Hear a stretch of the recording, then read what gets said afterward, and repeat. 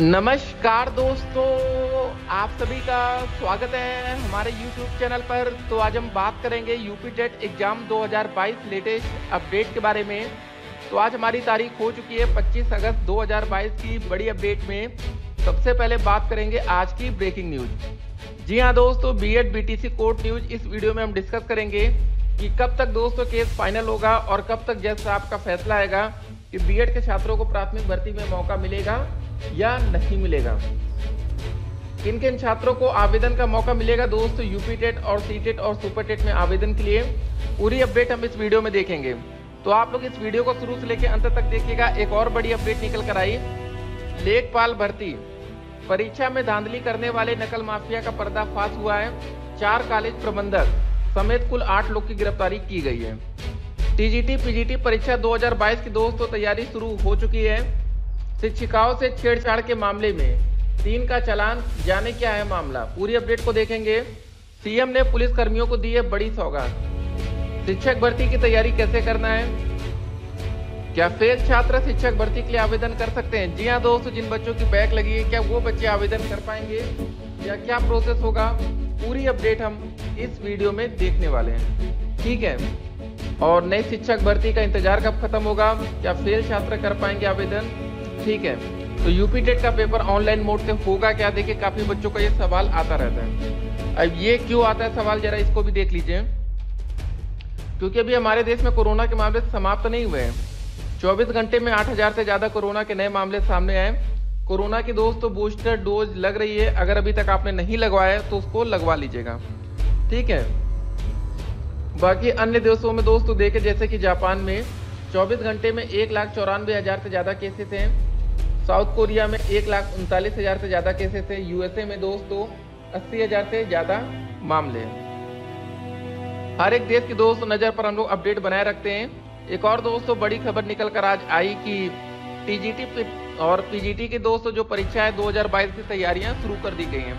उसके लिए दोस्तों, ये नोटिस आपके सामने मतलब दोस्तों बीएड छात्रों के लिए भैया अच्छी खबर ये है कि और भी मौके उन बच्चों को दिए जा रहे हैं, लेकिन जो बच्चे डीएलएड या बीटीसी कर रहे हैं, वो बच्चे सिर्फ़ पीआरटी का इंतज़ार कर रहे हैं कि कब प्राथमिक शिक्षक भर्ती है।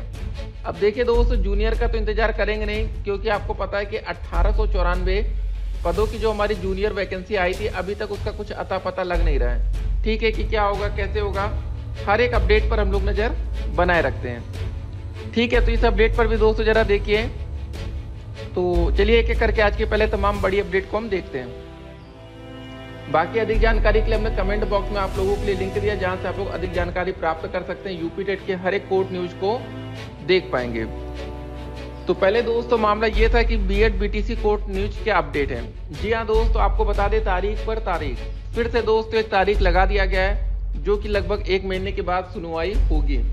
देखिए, एक बात और आपको बता दें, आपको एक बात बहुत अच्छे से पता है कि इस समय क्या हो रहा है कि बीएड और डीएलएड कॉलेजों में एडमिशन की प्रक्रिया चल रही है। अगर दोस्तों कल को ऐसी कोई खबर आ गई कि बीएड छात्रों को मौका नहीं दिया जाएगा तो आपको पता है कि बीएड कॉलेजों में भैया ताला लगना शुरू हो जाएगा। ठीक है? तो बीएड कॉलेजों में क्या लगेगा? ताला लग जाएगा। क्योंकि आपको पता है कि प्राथमिक शिक्षक भर्ती में ही सबसे ज़्यादा वैकेंसी आती है, सबसे ज़्यादा पदों पर। अगर दोस्तों ऐसी अपडेट आ जाती कि भैया बीएड बाहर नहीं होगा बीएड छात्रों को प्राथमिक भर्ती में मौका मिलेगा तो क्या होगा? डीएलएड कॉलेजों पर भैया ताला लगना शुरू हो जाएगा। मतलब दोनों में से कहीं ना कहीं कॉलेज में ताला लगना श्योर है इसलिए हो सकता है कि थोड़े दिन के बाद सुनवाई शुरू की जाएगी और रिज़ल्ट फाइनल किया जाएगा।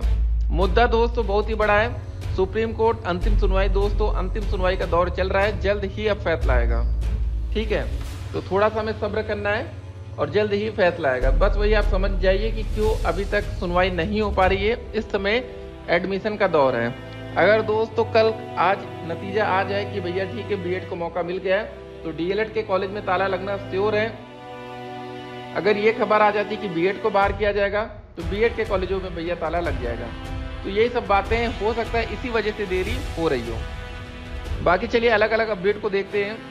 एसटीएफ लखनऊ की टीम ने एक बड़े नकल माफिया का पर्दाफाश किया है। उसने चार कॉलेज प्रबंधक समेत कुल आठ लोगों को गिरफ़्तार किया है। यह रैकेट कई बड़ी भर्ती परीक्षाओं में धांधली कर चुका है। हाल ही में हुई लेखपाल भर्ती परीक्षा में भी लाखों रुपए लेकर कई अभ्यर्थियों को पेपर सॉल्व कराए गए थे। डिप्टी एसपी दीपक कुमार सिंह को सूचना मिली थी कि नैनी स्थित मुरली मनोहर जोशी इंटर कॉलेज का प्रबंधक। जय बाबू तिवारी नकल माफिया रैकेट का सरगना है। वह कई अन्य कॉलेज प्रबंधक संघ मिलकर भर्ती परीक्षाओं में सालभर बैठाने का काम करता है। इस पर उन्होंने मैं टीम उसके श्रमिक बस्ती स्थित घर पर दबिश देकर उसे हिरासत में ले लिया। उसके कब्जे से कई दस्तावेज़ मिले, जिसमें लेखपाल व फॉरेस्ट गार्ड भर्ती परीक्षा के अभ्यर्थियों का विवरण लिखा हुआ था। सख्ती से दोस्त पूछताछ में उसने लेखपाल समेत कई अन्य भर्ती परीक्षाओं में साल भर बैठाने की बात कबूल ली। बताया कि इस रैकेट में कई अन्य कॉलेज प्रबंधक भी शामिल हैं, जो अरेल घाट पर पूर्व में हुई परीक्षा के बकाया लेन को लेकर बातचीत करने के लिए जुटने वाले हैं। तो आप दोस्तों देख सकते हैं कि भैया वैकेंसी जो आजकल आती है, उसमें भी धांधली होती है।